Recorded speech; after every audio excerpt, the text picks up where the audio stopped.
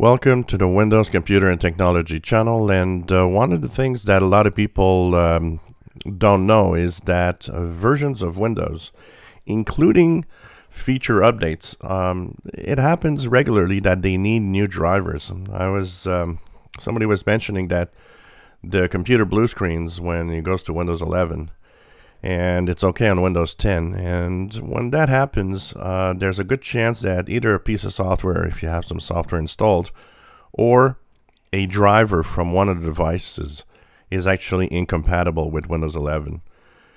When a new version of Windows happens, uh, that's the thing. As a lot of uh, the uh, drivers need to have some updates. Actually, what's happening right now in the um, in the different manufacturers, this is where we are.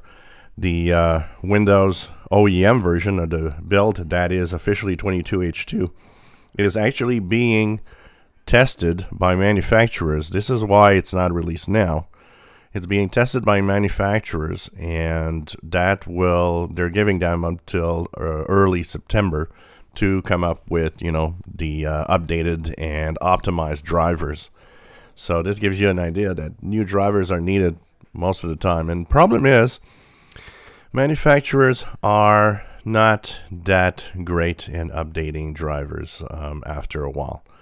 Um, they quickly abandon the new driver, and you end up with a PC that you just hope that the drivers for Windows 10 are going to work and be compatible with Windows 11 without any problems which has always been a problem. I, I always thought that you know manufacturers should actually be responsible in updating drivers and making drivers for a certain amount of time by by regulation actually because too many of them abandon quite quickly the uh, drivers because they want you to buy new hardware.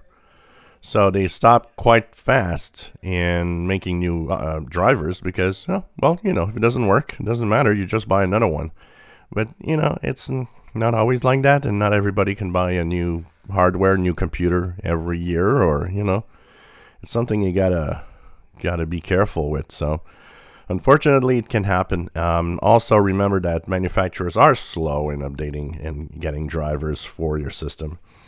Uh, the best place for updated drivers is the manufacturer's webpage, by the way. Go to the manufacturer of your hardware and you can also, of course, go into the Windows updates. Sometimes some of the drivers will show up in the uh, in the um, the optional updates, and you'll see that some drivers can actually uh, show up there uh, for optional updates. But unfortunately, manufacturers are often a little slow, and uh, it might not work now but it might work in a couple of months when manufacturers suddenly will have new drivers available for Windows 11 specifically, for example. If you enjoy my videos, please subscribe, give us thumbs up. Thank you for watching.